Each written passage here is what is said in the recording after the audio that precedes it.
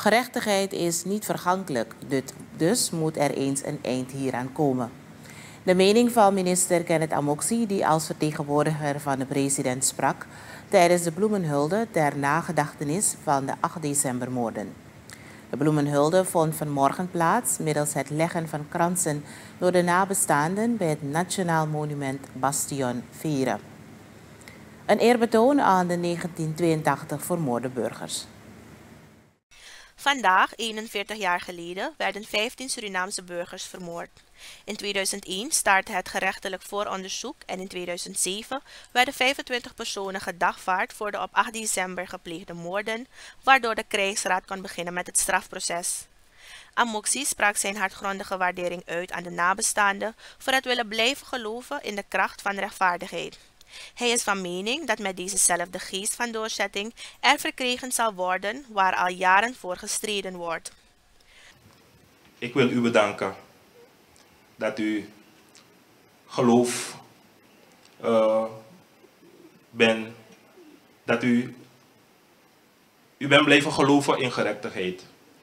Dat u hoop uh, hebt blijven hebben koesteren dat eens een dag komt waarbij gerechtigheid vier zal staan en ook zal spreken.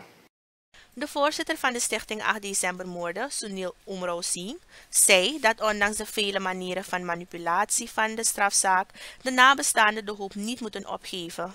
De fundamenten van de rechtsstaat Suriname mogen nimmer worden ondermijnd.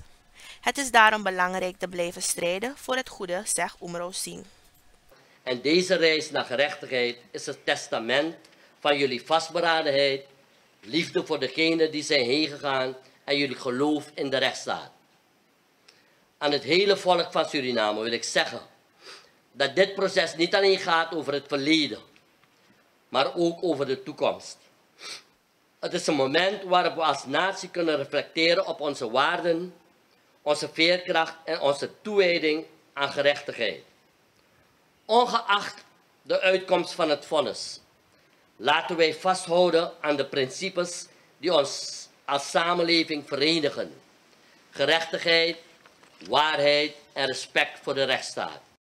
Umro Singh besloot met de oproep om te streven naar een Suriname waarin gerechtigheid niet alleen in wetten is vastgesteld, maar ook in harten en daden. Een toekomst waarin vrede, verdraagzaamheid, begrip en inclusiviteit de overhand hebben, zal ons helpen dichter bij onze droom te komen, meent de voorzitter.